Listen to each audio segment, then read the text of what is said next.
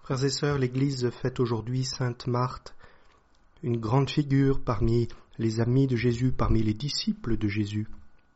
On la traite parfois avec un peu d'injustice.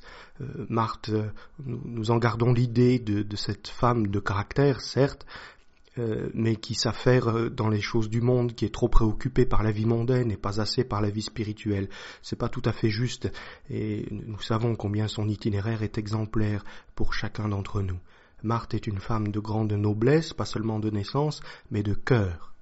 Et aujourd'hui, il est bon, frères et sœurs, de l'entendre dans euh, la péricope de l'évangile de Saint Jean que nous venons de proclamer, de l'entendre s'adresser au Seigneur dans toute la force de sa souffrance. Elle vient de perdre son frère Lazare. Jésus, un ami très proche de la maison de Béthanie, nous le savons, arrive et elle se dirige vers lui, elle va à sa rencontre et elle crie sa douleur. Où étais-tu, Jésus? Où étais-tu? Qu'il est bon, frères et sœurs, qu'il est bon de pouvoir adresser notre souffrance, notre colère, notre recherche de sens directement à Dieu comme Marthe le fait. Où étais-tu? Comment expliquer que tu n'aies rien fait? Comment est-il possible que tu aies laissé faire cela? Seigneur, tu es bon. Pourquoi le mal? Tu es tout-puissant. Pourquoi le mal fait-il son œuvre? Merci à Marthe de pouvoir poser cette question, de pouvoir avec elle poser cette question à Dieu. Bien sûr, ne soyons pas dupes de ce phénomène et, voyons ce qu'il y a derrière. Nous cherchons un responsable. Et, c'est intéressant de voir que la responsabilité du mal, nous euh, la cherchons du côté du bien. Ça veut dire que nous avons gardé la conscience, et c'est important de nous le redire, que le mal n'est jamais absolu, le mal n'est pas absolu. Et saint Thomas l'explique très bien, la providence gouverne tout. Il nous faut nous débarrasser de nos mentalités païennes avec un univers à la Star Wars ou à bien d'autres mythologies antiques où il y a le principe du bien et le principe du mal face à face et qui s'affrontent d'égale puissance. Et alternativement, ils gouvernent le monde au gré de leur victoire et de leur défaite l'un sur l'autre. Ça n'est pas la foi catholique, ça n'est tout simplement pas la réalité. Le mal n'est pas infini, seul l'amour de Dieu est infini. Le mal n'est pas infini, et la révélation biblique nous le dit très bien, qui le borne. Il y a d'un côté le livre de la Genèse avec le récit de la création, et Dieu vit que tout cela était bon.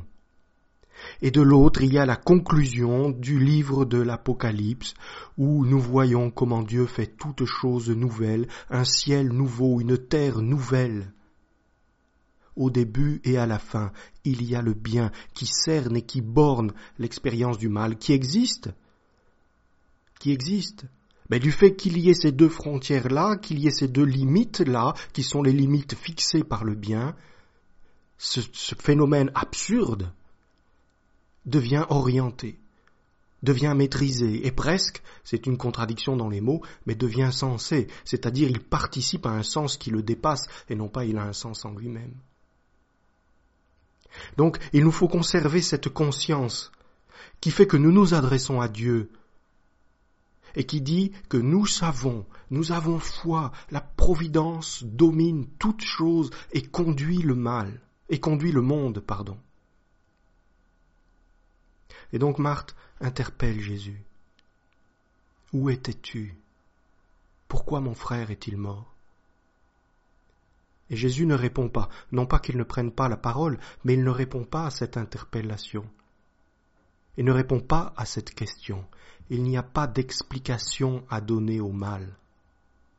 S'il y avait une explication, on l'aurait donnée. Si le mal était justifiable, on l'aurait justifié. Si on pouvait éluder le mal, Dieu l'aurait éludé par un décret divin. Si, si on pouvait supprimer le mal, Dieu l'aurait supprimé. Souvenez-vous la parabole du bon grain et de l'ivraie. La croissance du royaume ne se produit pas ainsi. Il n'y a qu'une seule réponse par rapport au mal, c'est Dieu qui la donne en assumant notre souffrance.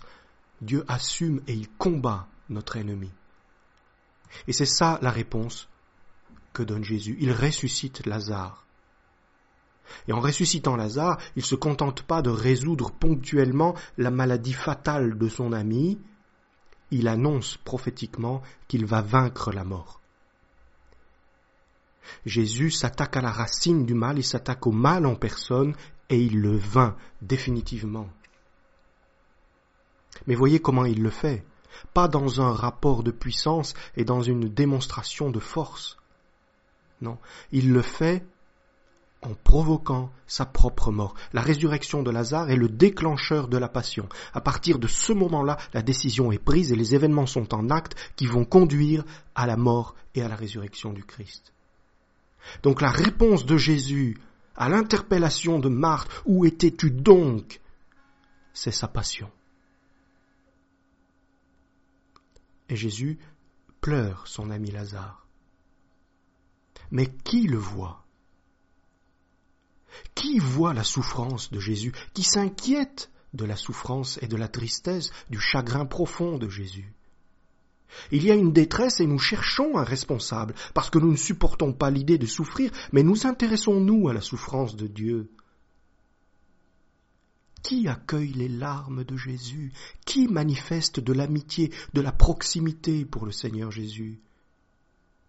Qui peut être son confident pour entendre sa plainte? Personne. Nous restons enfermés dans nos incompréhensions, nous sommes bloqués dans nos révoltes.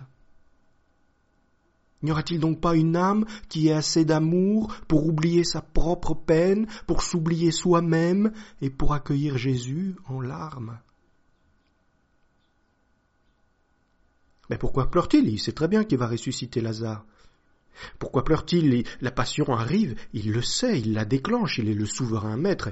Et Saint Jean l'écrit magnifiquement dans son évangile, la passion est vécue royalement par Jésus. Le cardinal Newman apporte une réponse très belle, euh, d'une fine connaissance biblique quand il affronte cette question de la souffrance et de la tristesse de Jésus qui pleure son ami Lazare. Il le compare avec le, le Joseph de la Genèse en Égypte, qui reçoit ses frères et qui ne leur dévoile pas son identité. Il n'est pas reconnu, il voit en Joseph le grand vizir du Pharaon, il ne voit pas leurs frères. Et Joseph se retourne pour pleurer seul. Il n'est pas compris, il n'est pas reconnu. Et lui, il sait qu'il va faire du bien. Il sait que s'il ne doit pas révéler immédiatement sa présence, c'est pour rapatrier, pour réunir la fratrie autour du Père, pour la réconciliation générale. Il est conscient du bien qu'il va leur faire. Mais il est ému aux larmes. Joseph est ému par la souffrance de ses frères. Il y a une sympathie une capacité à souffrir avec. Combien plus dans le cœur de Jésus qui souffre avec nous, qui souffre de notre souffrance bien plus qu'elle ne nous affecte, mais qui sans doute aussi souffre de ne pas être reconnu. Il ne voit pas sa présence, ses frères ne le reconnaissent pas. D'où la question. Crois-tu que je suis la résurrection et la vie? Vas-tu me reconnaître pour ce que je suis? Vas-tu voir celui qui est présent à tes côtés? Et à tous ceux qui répondent oui avec Marthe, Jésus dévoile sa présence et sa force en action. Il est le vainqueur de tout mal. Aucun mal n'est absolu. Le mal est vaincu par la croix du Christ. Alors dans, tous les drames, et malheureusement il y en a tant et plus, qui jalonnent notre vie, gardons cette sympathie pour le Seigneur, cette capacité de souffrir avec lui, de souffrir de sa souffrance. Il n'est pas reconnu alors qu'il se prépare à, faire le bien, non seulement à vaincre le mal, mais à préparer la grande réconciliation de ses frères autour du Père. Ça ne veut pas dire qu'il faut taire nos questions. Et c'est là-dessus que nous resterons. C'est la question de Marthe qui doit nous habiter aussi. Où étais-tu, Seigneur? Cette question n'est pas honteuse. Dieu aime les combattants, Dieu aime Abraham, il aime Jacob, il aime Job, il aime ses apôtres qui l'interpellent sur la barque, pourquoi dors-tu? Il aime Marthe qui se précipite devant lui et qui l'interroge, pour où étais-tu? Et cela fait partie de la prière de l'Église. Souvenez-vous de ce verset du psaume, Pourquoi dors-tu, Seigneur? Réveille-toi, pourquoi dors-tu? Car il y a une belle manière de poser cette question, et c'est la manière de la prière de l'Église, et c'est laquelle, euh, c'est cette manière-là que nous faisons nôtre et à laquelle nous nous unissons aujourd'hui. Pourquoi dors-tu, Seigneur? Je sais que tu es la résurrection et la vie. Je sais que ta croix a vaincu le monde. Je sais que tu es victorieux de tout mal et de toute mort. Alors, puisque nous avons foi, puisque nous nous tournons vers toi. Manifeste ta présence, montre-nous que tu es la résurrection et la vie. Voilà frères et sœurs pour le partage de cette méditation aujourd'hui, 29 juillet, en la fête de, Sainte Marthe. Est-ce que ce genre de méditation euh, vous convient? C'est une démarche un peu expérimentale, alors n'hésitez pas à réagir, soit dans les commentaires, soit sur Twitter ou, les réseaux sociaux. Est-ce que ça vous plairait à partir de la rentrée du mois de septembre euh, d'avoir régulièrement euh, à partager euh, sur la parole de Dieu de cette manière, c'est-à-dire par exemple en commentaire audio comme je viens de le faire? Le site des homélies est, fermé, vous le savez, mais nous ne renonçons pas, nous ne vous abandonnons pas pour autant. Euh, est-ce que cette manière euh, pourrait être une bonne façon de vous rejoindre et de vous aider à méditer la parole de Dieu? N'hésitez pas à réagir, euh, nous attendons vos commentaires.